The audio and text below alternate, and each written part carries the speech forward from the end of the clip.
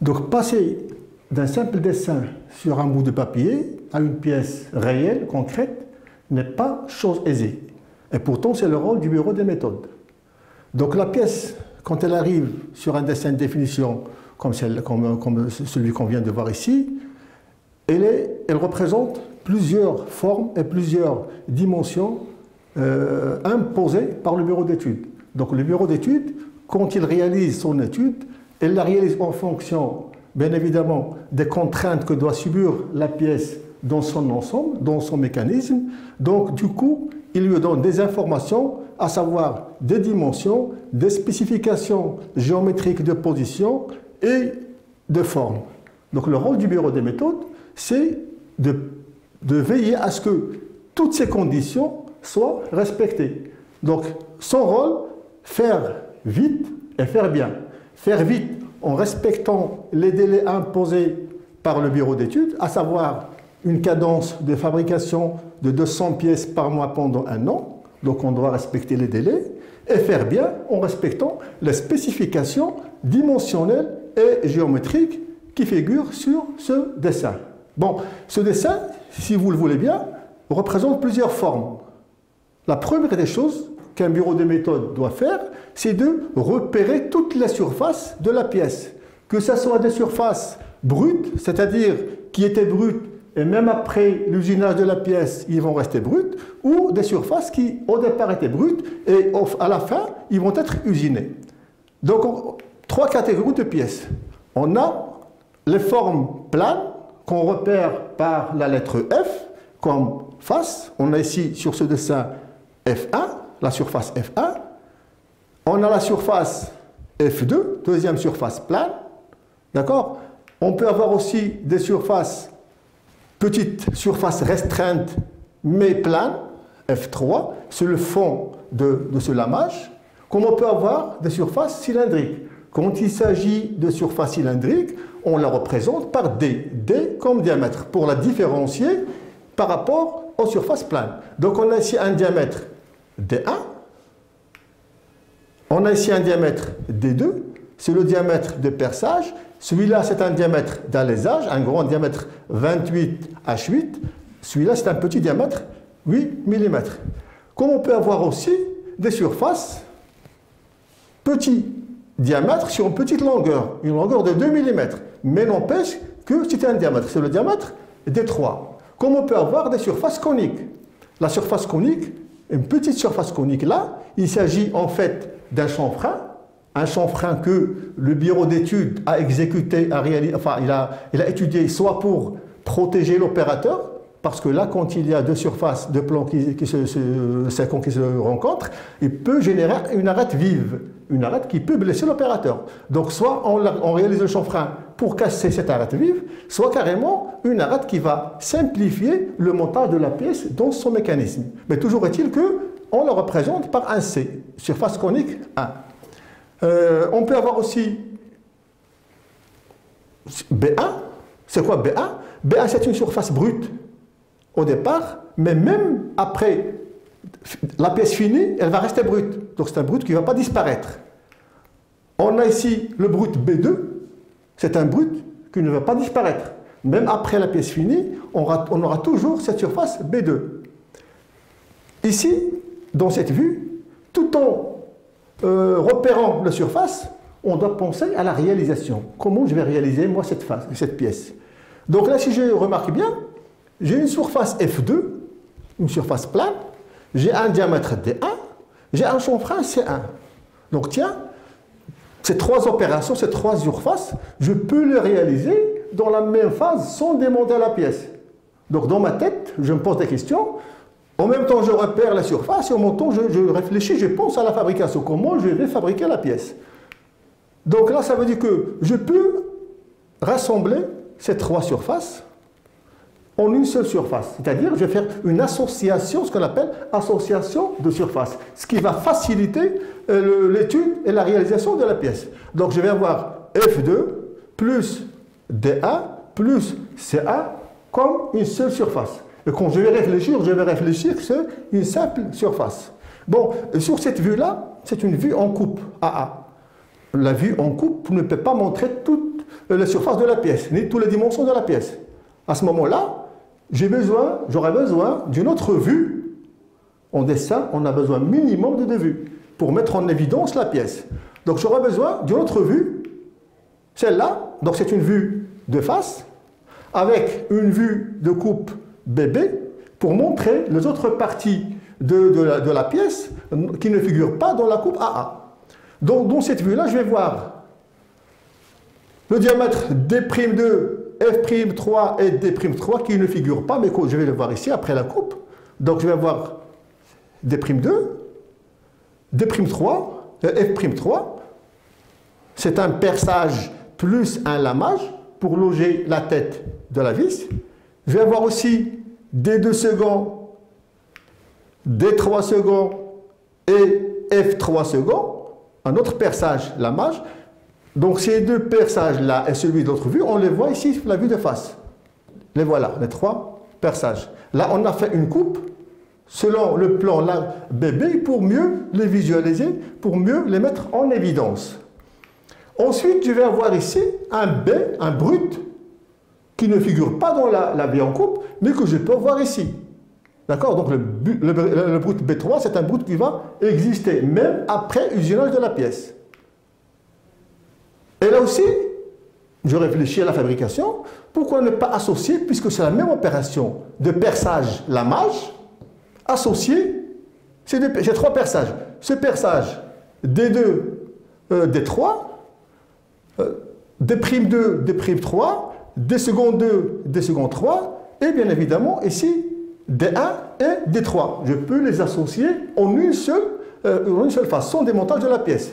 Comme je peux associer aussi le lamage.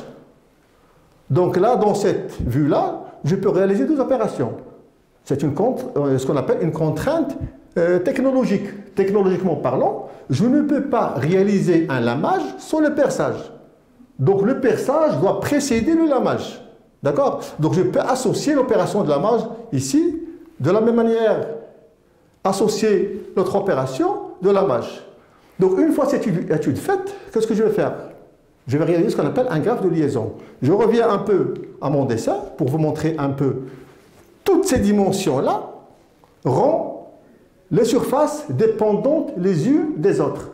Ça veut dire que je ne peux réaliser une surface qu'après avoir réalisé une. Donc il y a une dépendance entre les deux surfaces. Donc pour mettre en évidence cette dépendance, je vais réaliser un graphe dans lequel je vais utiliser toutes les liaisons que je vois ici sur la pièce dans ce graphe. Donc dans ce graphe, la première des choses en, général qu'on réalise, c'est les brutes. Pourquoi? Parce que c'est une pièce qui vient de fonderie, donc c'est une pièce, une pièce qui est moulée, il est coulé de fonderie. Donc la première surface que je réalise, c'est les surfaces brutes. B1, B2 et B3. Et c'est des brutes qui ne disparaissent pas, même après usinage de la pièce. Donc après cela, je, je mets les pièces, enfin les surfaces à usiner. La surface F1, la surface F2, la surface F3 et toutes les autres surfaces, les diamètres et tout. Donc là, je mets toutes les surfaces que je réalise. D'accord? Donc là, toutes les surfaces qui existent le dessin, ils sont là, ils figurent dans ce graphe. Ensuite, je relie toutes les surfaces entre elles, par, que ce soit par euh, des contraintes géométriques ou dimensionnelles. Donc les groupements que j'ai effectués tout à l'heure, j'ai groupé le diamètre D1 avec F2 avec C1. Ça veut dire que dans ma tête, je vais dresser, alaiser et chanfreiner. Donc je dresse F2, j'alaise D1 et je chanfreine C1. Le groupement ensuite, ce que je vais appeler groupement A. Deuxième groupement, le groupement D2', D2 second et D2. Ça veut dire que ce sont des perçages que je vais réaliser en même temps. Bah, c'est logique. Je suis dans la machine. Je réalise un perçage. Je ne vais pas aller réaliser sur notre machine un lamage, ensuite revenir pour réaliser un perçage. Étant donné que je suis sur la machine, je réalise toutes les opérations identique à, cette, à celle la première. Donc je réalise des deux, des deux primes, des secondes, euh, second prime, de, des secondes 2. Ensuite, ensuite, je vais appeler B. Le deuxième groupement, c'est les lamages. je réalise mes perçages. Donc je peux régler dans l'atelier, je peux régler deux machines. Une machine spéciale pour le perçage et une machine spéciale pour le lamage. Sachant que je travaille en série, une série de 200 pièces par mois pendant un an. Donc là, l'utilisation de plusieurs machines est justifiée. Ensuite, une fois le groupement fait, je réalise maintenant, que appeler le groupement C, je vais relier les surfaces entre elles. Donc si je, vous regardez un peu sur dessin de définition, première cote, elle part de B1 vers F1. Donc la surface F1, elle est définie par rapport à B1. Je ne peux avoir F1 que si j'ai B1. Donc c'est une antériorité dimensionnelle, une contrainte dimensionnelle. Cette cote est de 14. Ensuite, de B2, F3. Donc F3 est une surface, enfin, là je ne peux plus parler de F3, je vais parler de C. Donc l'association de surface C dépend de B1. Donc je ne peux avoir cette association que si B1 existe. Une dimension de 2 mm. Ensuite, de B2, je vais vers D. Par quoi? Par une spécification dimensionnelle de position, la coaxialité. Il faut que ce perçage soit coaxion au diamètre, à diamètre de 0,6 par rapport à B2. D'accord? Ensuite, de B3, je vais vers D2 par quoi? Par une autre spécification géométrique de position qui est la symétrie. Il faut que D2 soit symétrique d'une valeur de 0,5 par rapport à B3. Donc là, c'est une spécification géométrique de position. Il nous donne la position de D2 par rapport au brut B3. Ben ensuite, de D1 vers D2. Par quoi? C'est lié par une cote de 24. Donc toutes ces cotes-là, ces dimensions spécifications, je les ai sorties du dessin de définition. Je ne fais qu'interpréter le dessin en un graphe. Ensuite, de D, 1 vers D'2, par quoi? Par la cote de 24. De la même manière, de F1 est lié à F2 par la cote de 30 et aussi par la spécification géométrique de position parallélisme. Il faut que 2 F2 soit parallèle à F1. Donc ici la référence c'est quoi? C'est F1. Donc je ne peux avoir F2 que si j'ai F1. Donc c'est une contrainte dimensionnelle. De la même manière, ce qui va se passer au sein d'une association de surface n'est pas très important pour moi. Pourquoi? Il ne va pas influencer directement mes choix. D'accord? Donc aucune liaison, je, je m'en fous carrément de ce qui se passe à l'intérieur. La même chose ici, la liaison qu'il y a entre ces surfaces, pour moi, pour l'instant, n'est pas intéressant. Il n'aura aucune influence sur mon choix. Mais là, par contre, entre F1 et F3, si vous regardez un peu le dessin de définition, c'est une dimension qui n'existe pas. D'accord Ces dimensions, elles sont là, elles existent, on peut les voir, on peut les lire, on peut les interpréter. Par contre, celle-là n'existe pas. Pourquoi elle n'existe pas Parce que c'est ce qu'on appelle une dimension ou une spécification implicite. Celles-là, elles sont explicites, ça veut dire je les ai formulées, je les ai dessinées, je les ai mises, mais par contre celle-là, elle est implicite, elle ne figure pas. Mais n'empêche, il faut qu'elle soit dans ma tête. Donc pendant la réalisation de ma pièce, je dois y penser. Entre F1 et F3, F3 c'est quoi? C'est le fond du lamage. Donc il faut que le fond du lamage soit parallèle à la base de la pièce. Pourquoi pendant le montage? Le fond de lamage, c'est quoi un lamage? Un lamage est destiné à recevoir la tête d'un boulon, d'un vis.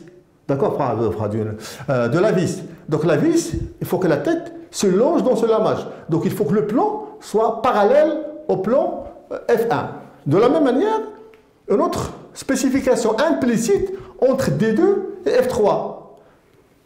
D2, c'est le diamètre du lamage, et F3, c'est la face, le plan de lamage. Donc il faut qu'il y ait une perpendiculaire, entre eux pour que le boulon, pour que la tête de la vis se longe euh, sans problème. Il y a aussi entre F1 et D2. Donc F1, c'est la face, la surface plane, et D2, c'est la tarte de perçage. Il faut qu'il y ait une perpendicularité entre les deux. Sinon, le boulon, la vis, ne peut pas prendre place. D'accord? Une fois toutes ces spécifications et toutes ces, dimensions mises dans le graphe de liaison, je peux réfléchir maintenant à comment je vais réaliser ma pièce, comment je vais procéder. Je vais revenir en arrière, faire le, le, circuit inverse. Voilà, donc je fais le circuit inverse. Ça veut dire quoi? Ça veut dire, maintenant je vais supprimer les premières surfaces qui vont être réalisées, à savoir B1, B2 et B3. Ça veut dire, dès que j'ai B1 et B2 et B3, je les supprime et je regarde quelle est la surface qui ne dépend plus de rien et n'est plus lié à aucune autre surface. Ça veut dire je supprime maintenant les brutes et je regarde. Donc là, si je regarde un peu, je regarde que l'association A, elle dépend de quoi? Elle dépend de F. Ça veut dire, pour avoir, pour réaliser cette association de surface, je dois réaliser F d'abord. Pour l'association B, elle dépend de l'association A. L'association C, elle dépend et de F, elle dépend et de P. Donc je ne peux pas les réaliser. D'accord? Donc là, ça veut dire quoi? Ça veut dire que la seule surface ici qui ne dépend plus de rien, c'est la surface F1. Donc dans mon processus, dans mon avant-projet, la première surface que je vais réaliser après le brut, c'est la surface F1. Donc dès que je réalise F1, ça veut dire que je supprime F1. Qu'est-ce qui me reste?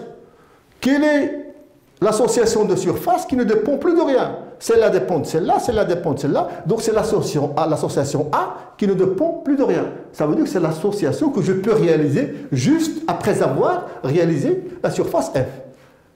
D'accord Donc l'ordre va être comme ça. F1 en premier, l'association des surfaces A en second.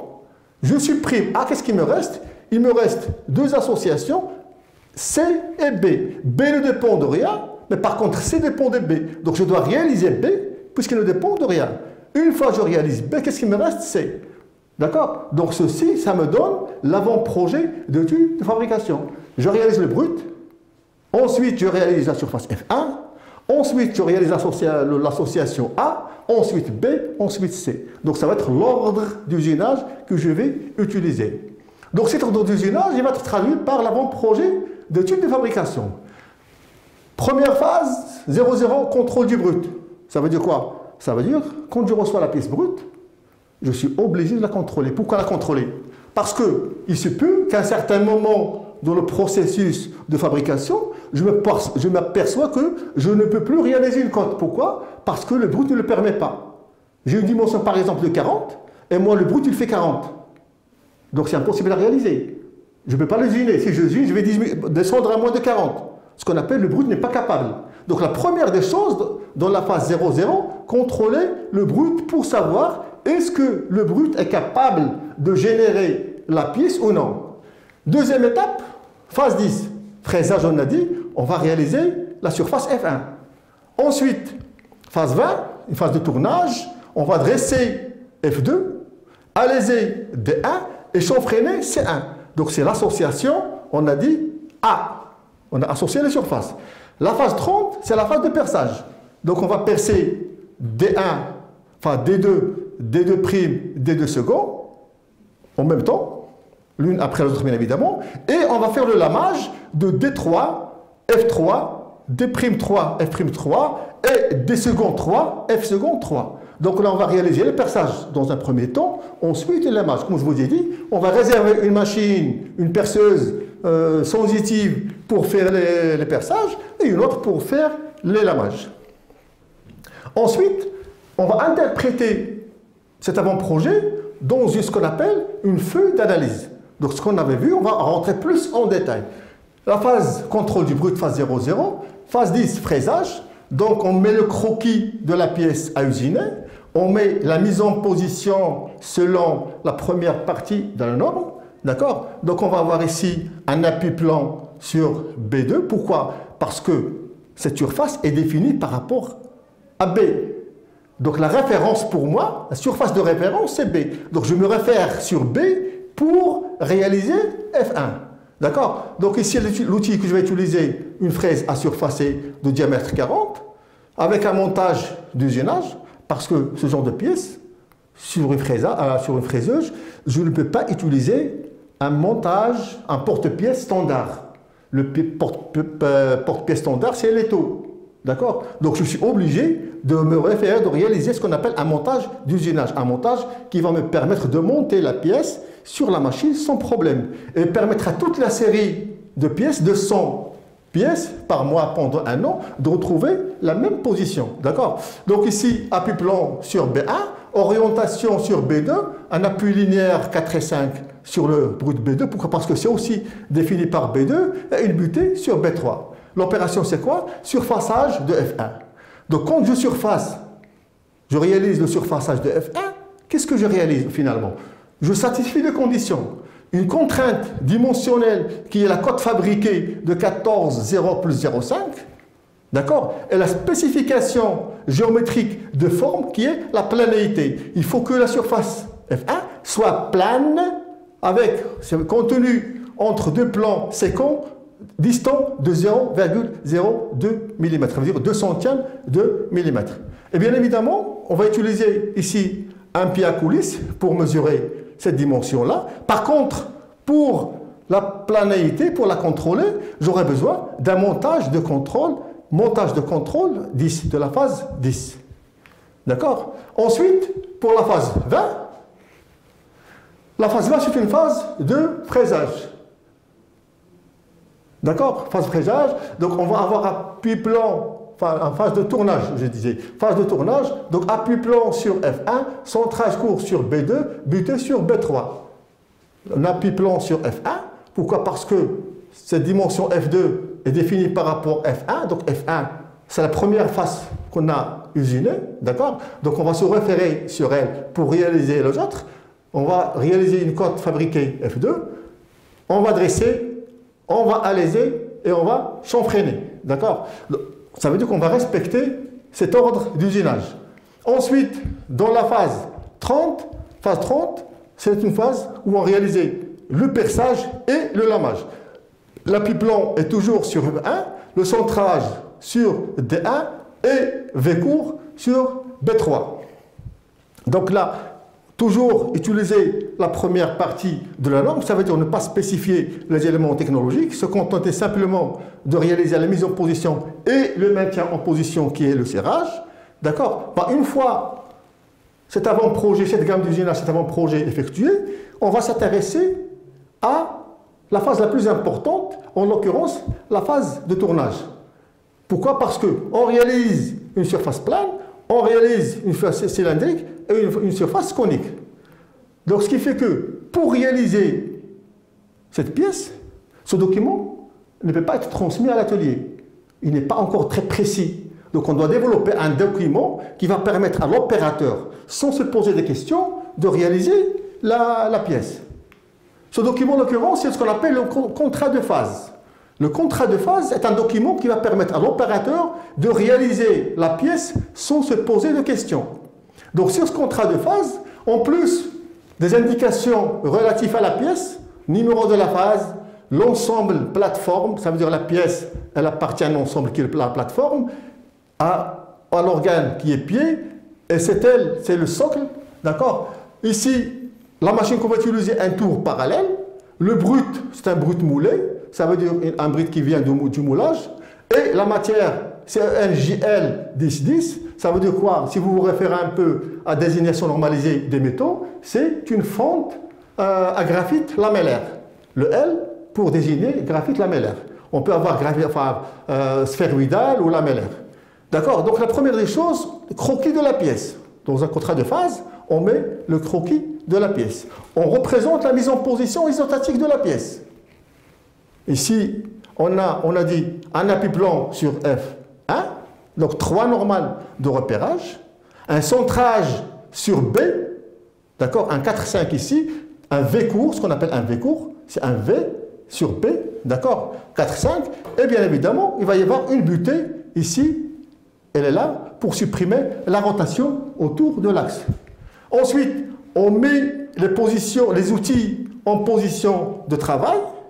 Donc là, si vous regardez, la première des opérations, c'est un outil à charioter coudé qui va nous réaliser le dressage. Donc le sens du mouvement d'avance, c'est celui-là.